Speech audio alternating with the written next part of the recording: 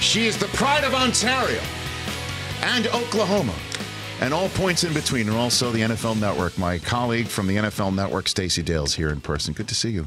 It's wonderful to be here, seeing you in this setting, and gosh, all the years in the NFL together, and right. all the way back to ESPN. That's right.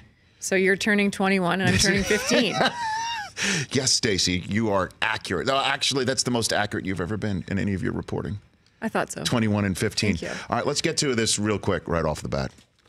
You brought me a birthday gift, which is in this red bag for the radio audience. I'll describe it. Um, and I'll, I'll, I'll wait um, to take out the gift. I already know what's in there. So does the television audience. So this was Thanksgiving, the Har Bowl, right? It was Jim versus uh, John. John, in yeah. Baltimore, Maryland. Um, and Steve Bisciotti, the owner of the Ravens, invited us all on his boat the night before He did. right? Mm-hmm. And we all hung out. Some of us a little too late. How long did you hang out on the boat that night? Were you with us the whole entire Uh, time, or did you, or, or you?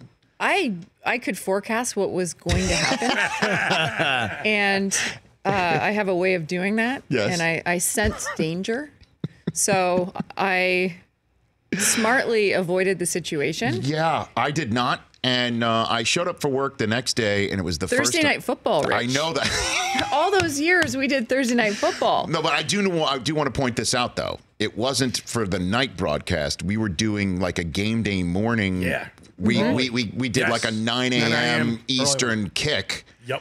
And so I, um, for the first time in my career, showed up That's for work at seven in the morning, thinking I might not answer the bell.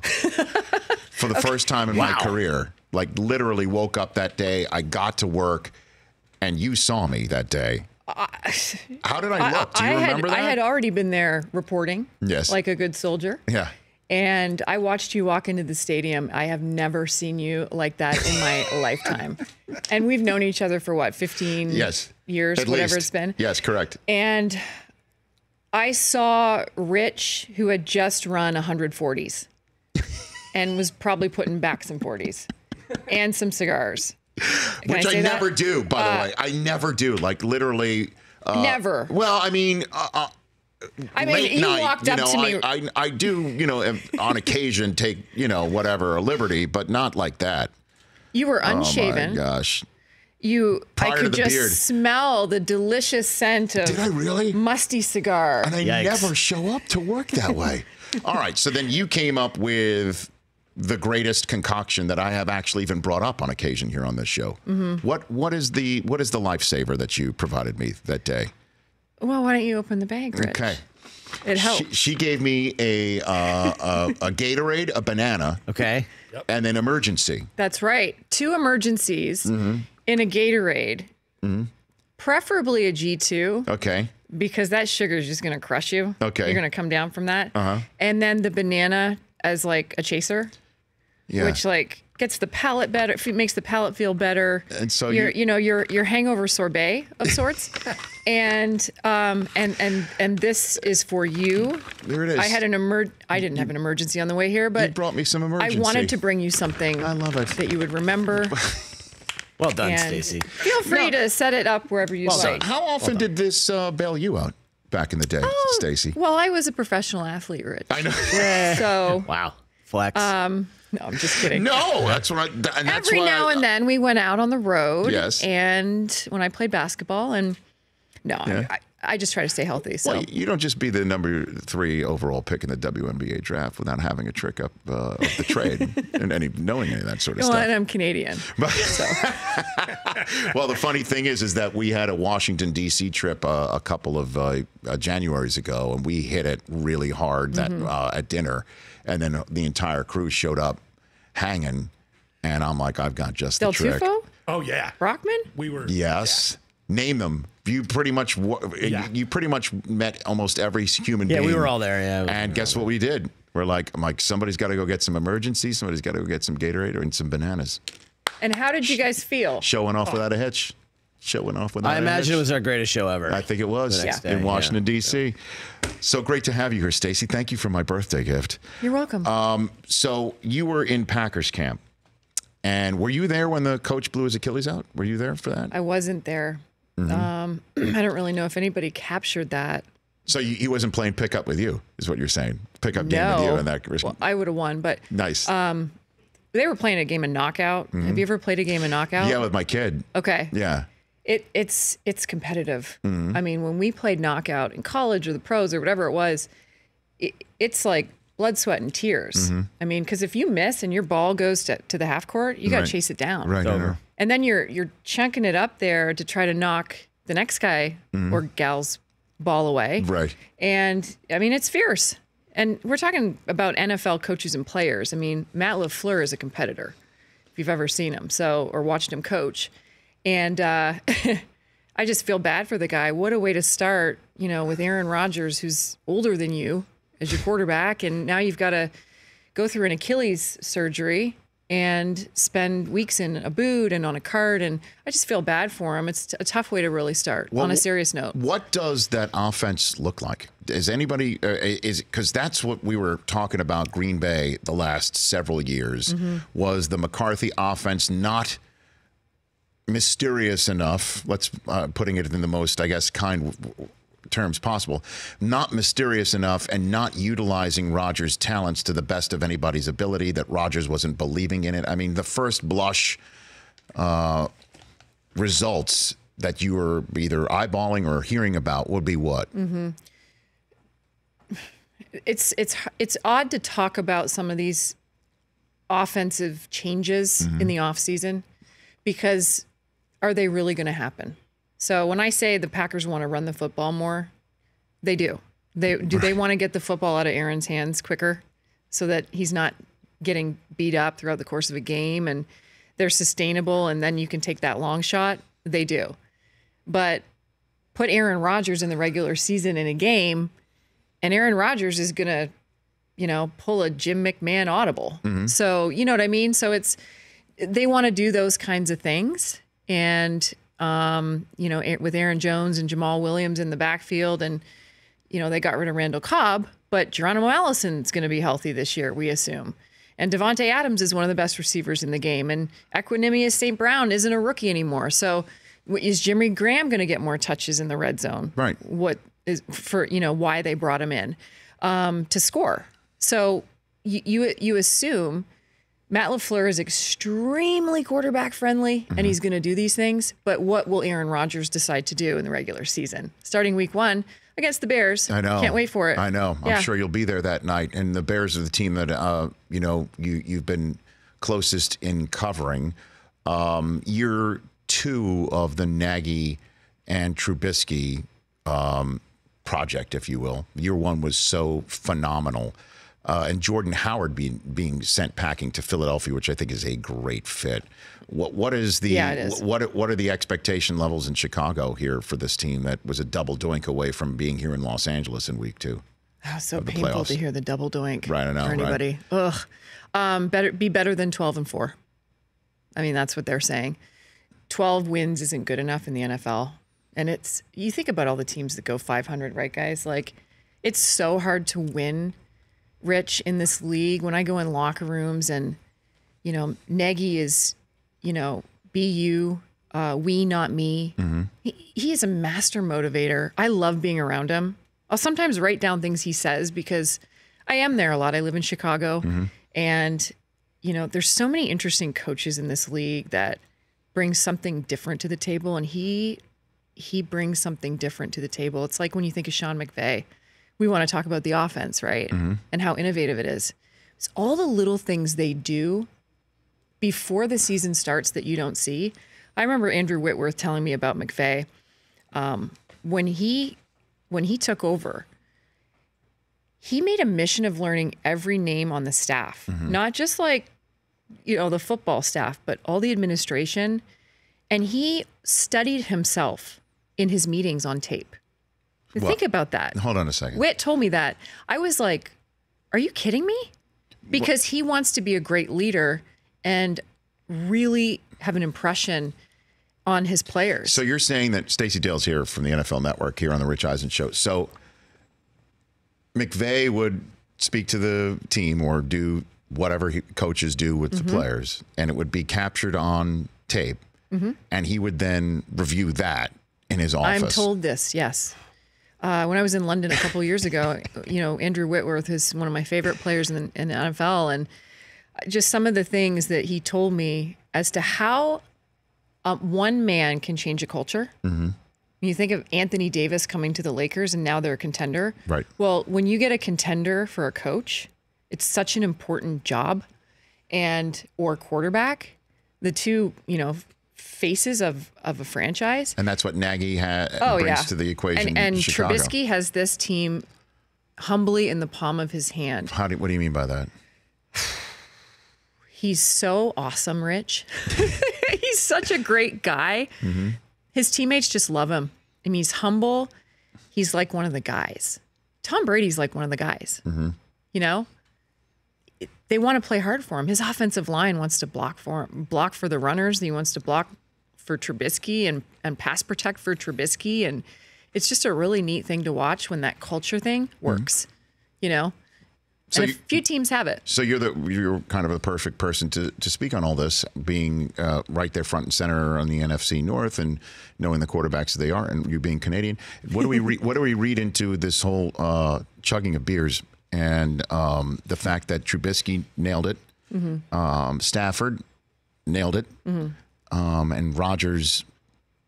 Again, I, I make I make the excuse he's a sipper. He clearly sips his libations. That's me. Yeah. That, uh, that I'm wondering how you handicap this in, in terms of the um, chug gate that uh, people Mm-hmm. are talking about right now. Well, if I recall, it was the Washington Redskins game last year. I can't remember that Rodgers played and he said he was going to go home and drink a glass of scotch or something. Yes. So he's a sipper. Here's what I told Matthew Stafford when I mm. interviewed him a couple weeks ago Okay. at Lions Camp. I have a problem with the beer chugging. The reason being is because you have to qualify what kind of beer you're chugging. okay. And I'm serious on this. This is really important. I said to Canadian. staff, I'm like, I said to Stafford, what was in your drink? And what do you say? He's like, well, I was having wine leading up to it, like, which is so cool. Right. Um, but I don't remember if he revealed because I started it with Mm-hmm. if it's a Guinness or a Stella or like as I like to call them Belgian waffles because they're hard to take down. Right. That's one thing. If Right. it's a Coors Light or a Michelob Ultra, Mm-hmm. we have a problem because it's so much easier to chug water than a Stella or a Stacy Guinness. Tales, everybody. Okay. The pride of Canada. Yes. Okay. So, So, anyways, uh, I said the same thing to Mitch, and he kind of blushed. They were probably drinking Bud, Coors. I Yeah, I don't mean, know. well, well, Yeah. But Trubisky was at a ball game. He was It's at a White. Sox game, so I don't Yeah, think so that it's they're Bud serving. Light, I, well, I shouldn't Lite, say that. And, you know, you could get a premium. You can get a premium beverage. By the know, way, the PR staff's going like, "Hey, Dales, it was really a competition between David Bakhtiari and Kyle Long. Let's leave the QB out of it." Oh, okay. I love the sensitivities that you Yeah. sometimes touch on here. Yeah. Stacey Dales here on the Rich Eisen show. What what do you make of Toronto all lit up for the Raptors? What do you think about this? It's and like what the- it means for the country. It's like the Caravana in Toronto. It's amazing. Mm-hmm. It's huge. It it's electrifying. Listen, I grew up in a small town in Brockville, Ontario, in mm-hmm. Canada, mm-hmm. which is 40 minutes from Almonte, Ontario, which is where Dr. James Naismith invented the game of basketball. And I fell in love with it when I was eight years old. I my first sport was soccer. And so, you know, when you're a kid learning history in Canada, you know who James Naismith is. Mm-hmm. It's important. So it's really such a proud moment for the country, especially when, you know, our national sport is lacrosse, but really it's hockey. Let's be real. Mm-hmm. You know, there isn't a household in Canada that doesn't have the NHL Hockey Night in Canada on. And with Don Cherry, Right. He- right? I know so who Don Cherry is. Mm-hmm. he's the best. Um, second to you. And, Thank you. You know, it, it, it, it's really cool. Just Really seeing cool. this whole thing all lit oh, up. you know, and, did- and, and then, then the representation, Kawhi Leonard to be so humble. And, you know, I'll never forget Doris, the great Doris Burke interviewing him. And I don't want to be a hero. Now, every kid, if I'm a parent, I haven't blessed to be yet, hopefully, but every kid, every parent should like play that back for their kids. I don't want to be the hero. I want to be the best teammate I can be, you know? And for, you know, a superstar giant athlete like that to say it, it's kind of Canadian. You know, there's a sense of humility to that. I loved it. So he fits up there in Mm-hmm. Toronto. It's a good fit for for him. Uh, obviously, nobody knows what he thinks about what's a good fit for him. Everyone thinks he's coming here to Yeah. to Los Angeles, and the the town will. I mean, he wouldn't have to. Apparently, he could live rent free and food free and drink free the rest of his life, based up there in Toronto. And that's not Yeah. a joke. Like literally, there's a Kawine and Dine, and that there's a, a sticker in every every window of every restaurant and. What was that? A three million dollar condo that, that somebody offered was up to him really for free? nice. Uh, right. Yeah. So it's it it seems like a good fit up there. Obviously, they won the championship, but Yeah, but in sports, you know, Rich, nothing, nothing ever can is a permanent fit. So we'll see what happens. They love him there. I think that you know, anytime you have a guy like that, a city embraces a guy like that and will until he leaves or she leaves. So, um, but it, it, it was really cool. I had my mom and my all my family still in Canada. My mom's texting me details like, "I just wanted to let you know Kevin Durant's out."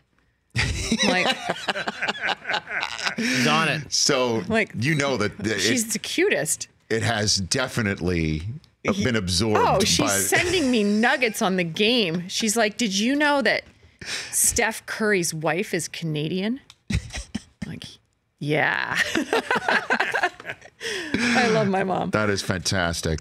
Um, and then, uh, what did you? Well, I mean, the the uh, U.S. Women's National Team uh, won three 0 yesterday, and I loved Carli Lloyd when she of one of her two her two goals. She just absolutely missiled one in, and then gave the golf clap celebration. I mean, what, what did you make of this whole? A- Ain't that a Hullabaloo. clapback Right, I know, right? Okay. I, well done, by the way. from week one? Right, I know. We'll call it week one. That's a good callback and clapback right there. That is a clapback after the emphatic 13 to nothing win Right. over Thailand. yes. Ah, she can you believe she's 37? No, it's a, it's amazing what she's been doing. Last how, how many games in a row is that now? That's now six World Cup games in a row, I believe, in which she yeah. scored. Yeah, five or six. And and can we can we pay these women? They're so good, Rich. And This is the best eh, for years. The best of the best. I mean, substitute who you want. You know, the coach made a substitution yesterday, and I watched the game, and it, I'm fixated on it because they are like a scoring machine.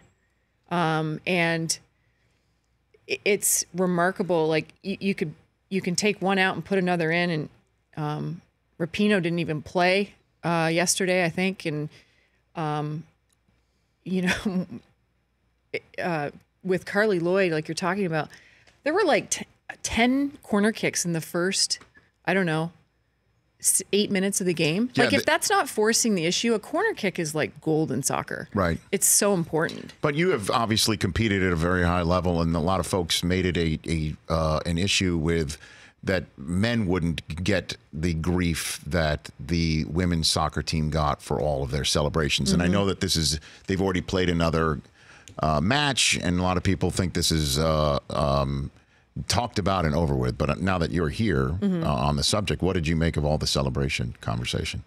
I'm really cool with celebrating the first six, seven, eight goals, maybe. Right. Um, Here's the thing you're a powerhouse. Now, I, I played for Canada and we played in the 2000 Sydney Olympics humbly. There were 12 teams. We finished 11th. Okay. We, we got there. It was important to get there. It's hard to get th- to that stage. Sure. You have to qualify. right. So it, it's it's at, there. The U.S. is at a different level than Thailand, and what what you often see, and I don't know if people have talked about this part of it. What you often see in games like that, thirteen to nothing, which is it's a record, right? It doesn't happen. I think hmm. Canada beat Puerto Rico back in the late '90s, twenty-one to nothing. The other team, the Thailands, they, they usually get scrappy and they start injuring you. So clap cheers to Thailand mm-hmm. for not going there. I don't think that's in their DNA, but a lot of countries may have and taken some low blows and caused some injury. So if if you're the US, you're fortunate to leave in some of your superstar players and leave without injury. And you know, you have 23 players on your roster, I think. So, you know, you could have made a few more substitutions. When somebody scores 5 goals, it's it's a big deal for them, but I mean, it got a little excessive. It it just did because the other part of it, Rich, is act appropriately to where you're supposed to be. The U.S. is supposed to dominate that game, right? So act as if. So I love the celebrations. I, I also was always taught when I was a kid, play through the whistle, and they sure they play through the whistle. So kudos to them for that. I w- I will say. So it, it's kind of a, you know, you can go back and forth with the conversation. We did. And, we did. And Barkley said the same thing you said, which is, you know, um, kind of like act like you've been there before. And Mm-hmm. um, he, he told stories about that you would take somebody out if they did something like that in the NBA. They would literally, you would, you'd be taken out. Well, that's what that's what I'm. That's That's, what what, you're I'm talking saying. about, That's know. exactly what I'm talking about. When I was in college, my senior year, we we had an amazing team, and that bond that you create over the years, which is what you know the U.S. soccer team has, and the U.S. women's basketball team, and they're just dominant. And their system is so strong, and the way they develop players. And Canada's getting there with basketball, um, which is awesome. But w- when you think about that, and I think about my my senior year in college, we in in the Big 12 conference, I went to Oklahoma. We beat everybody, you know, on Wednesday, Saturday by 20 to 30 points. And some teams started to get chippy. I mean, I I was injured in a game because of it. Um, but you have to really be cognizant of what the mission is and if you were supposed to do it or not. Well, Stacey Dales, you're the best. You know how I feel about you, and uh, I look forward to uh, with the rest of our colleagues um, gouging the uh, NFL for free food uh, at the symposium tomorrow night. Did I say that into a microphone? I look forward to learning uh, with my colleagues about uh, about broadcasting over the next 48 hours. Good to see you. You too. Thanks, Rich. You bet. At Stacey Dales on Twitter and Instagram. I follow her on both. You should as well. For more of The Rich Eisen Show, tune to Audience Channel 239 on DirecTV for free on BR Live or download the Rich Eisen Show app.